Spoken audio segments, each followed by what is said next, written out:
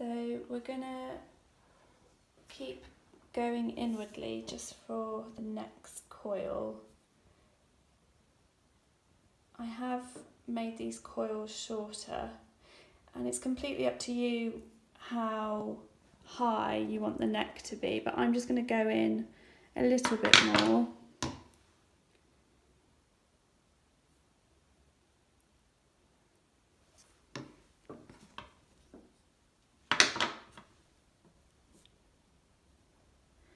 and I'm pinching with my thumb and my first finger, my, my index finger.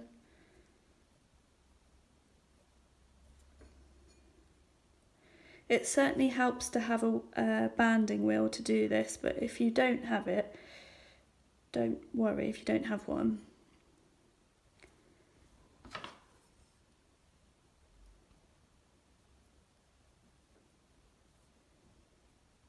You could use a um, small tray and just spin it round. It's just so the idea is that you can move it whilst you're applying these coils.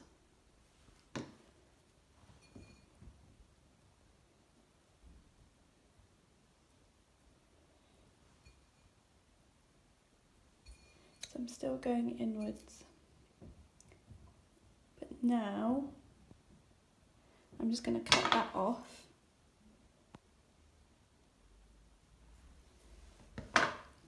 And whilst I still can, I'm going to go inside and just firm as much as I can. All the while keeping your hand on the outside to keep its form as much as possible. So I'm going to make the neck of the vase now, so we're going straight up. So that's why I'm scoring the very top of this last coil.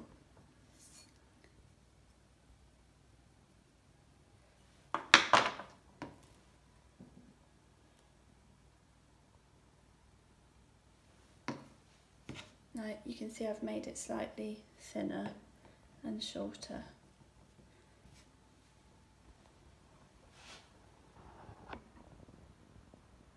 So I'm going on top and I'm firming down.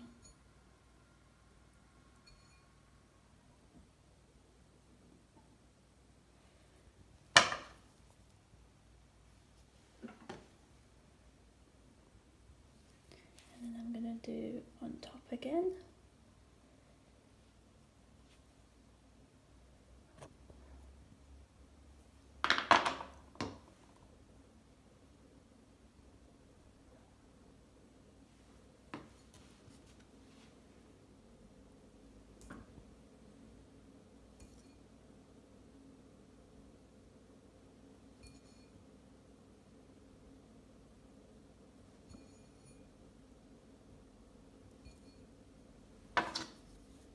Can just keep going, but I just want to assess it at each stage. Now we are going to be smoothing the outside so it will naturally get taller, but I'm just going to keep going.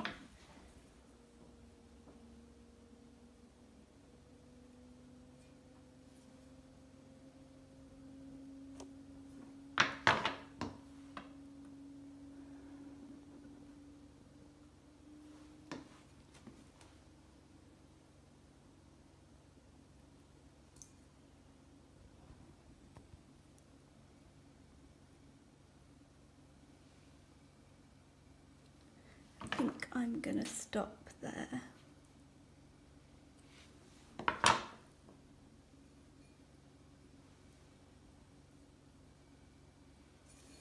And I'm uh, going to let that firm up a little bit and then we can start to shape it from the outside. So I'm just going to smooth the top now because we, we've done this section earlier. So I'm just making sure that the coils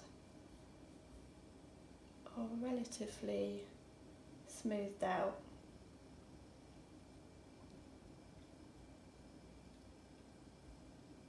You can see it's rippling so it's still quite malleable which is fine for this stage.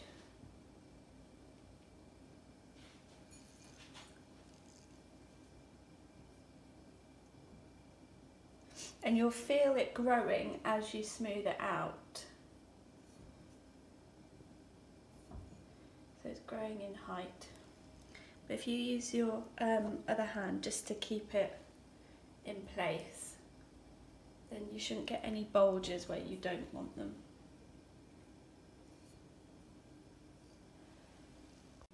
Right, so we've smoothed inside um, just to make sure that the inside is sealed as much as possible and we've let it firm up a little bit.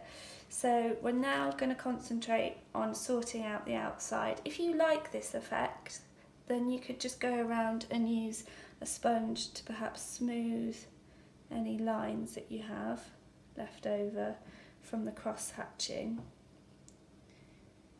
Otherwise, I'm going to show you how to smooth it completely. So I'm going to take the butter knife, I'm just going to wipe it down.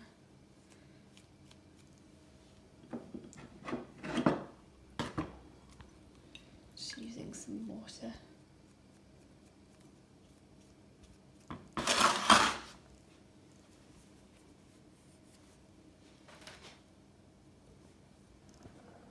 I'm just gonna use this to smooth it out.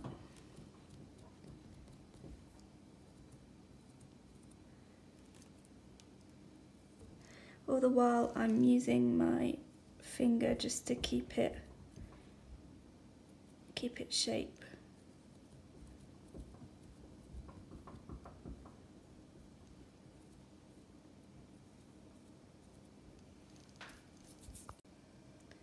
So we've gone round and smoothed the uh, sides. I'm just going to do the base now um, and I'll show you how we can bring it in. So we're just going to smooth it with the knife again.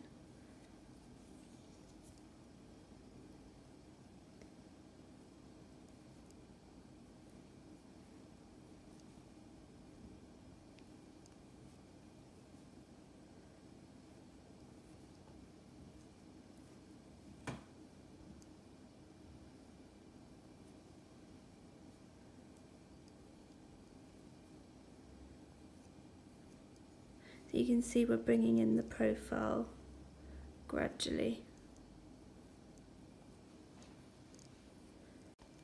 So you can see I've gone around the edge. You don't have to make it so prominent. Um, you, if you want to round it, you just keep smoothing it.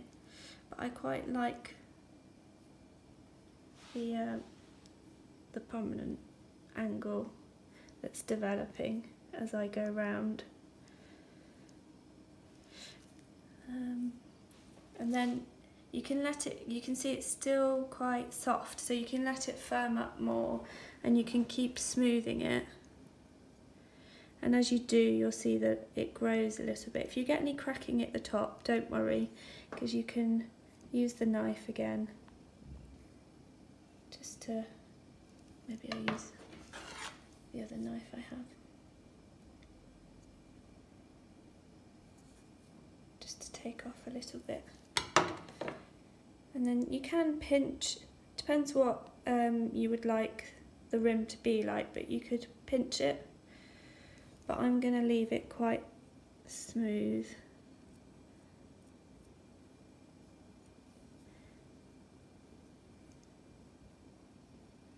And slightly rounded. So down here is going to be wetter because there's um, obviously more clay and up here is going to be drying a little bit quicker. So I've just got some cling film and I'm just going to cover this whilst I work on the rest of the piece.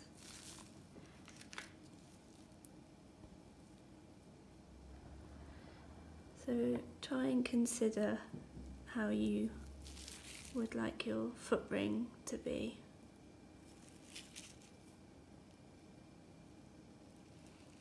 Whilst keeping in mind that this is a handmade object. Just using tools that you can find in your kitchen drawer.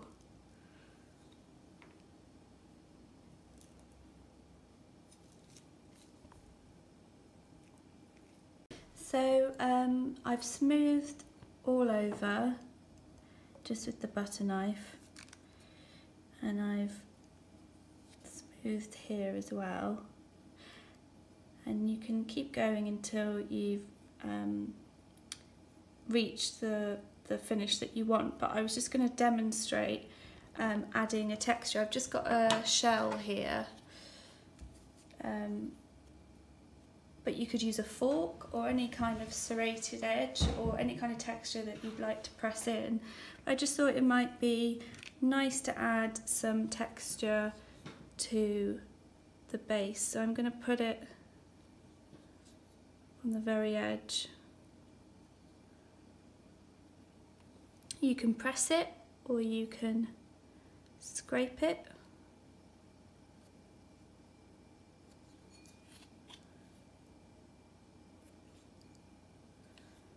you can mix it up.